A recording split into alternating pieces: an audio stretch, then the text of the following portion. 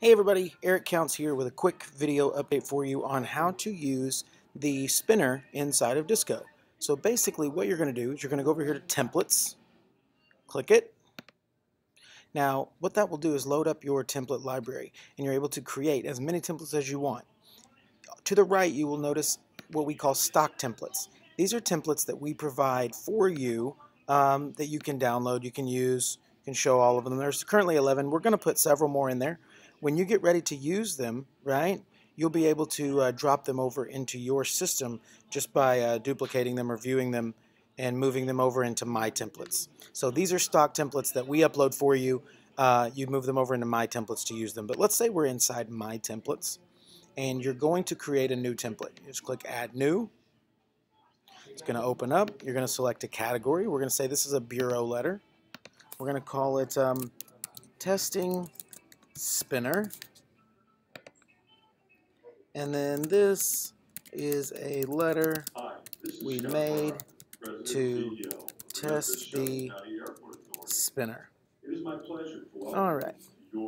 So when you come down in here, you'll notice that there's a, a large, you know, blank area that's its total purpose there is for you to create your template inside of that uh, area.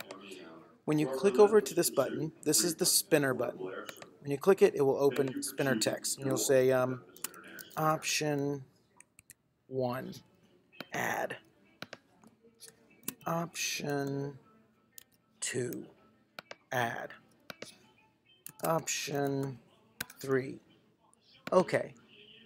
Now you notice what it does is it takes all of those options and puts it inside of these brackets and it's separated by these uh, uh horizontal, they're called a pipe.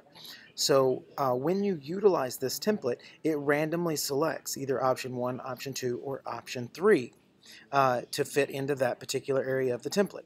To show you how that can become useful, I'm going to go back to my template list. I'm going to go to stock templates, and I'm going to show you one that we have spun out pretty heavily. Um, simple round 1 dispute view. Now you'll notice down here it says things like recently, a few days ago, the other day, last week, a couple of days ago, I received, looked at, got, was shown, viewed, a copy, a version, a printout of my credit, report, file, record, and found, notice, saw.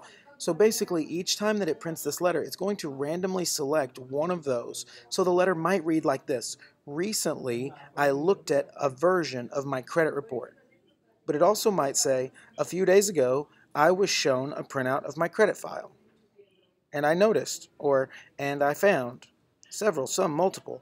Uh, the idea is that even if you have uh, clients that are husband and wife, even their letters aren't going to be the same. Every letter that it creates will be a little different in how it words the uh, process. Additionally, it's also going to allow you to um, make it through the bureau systems without being flagged quite as often for using the same letters over and over and over.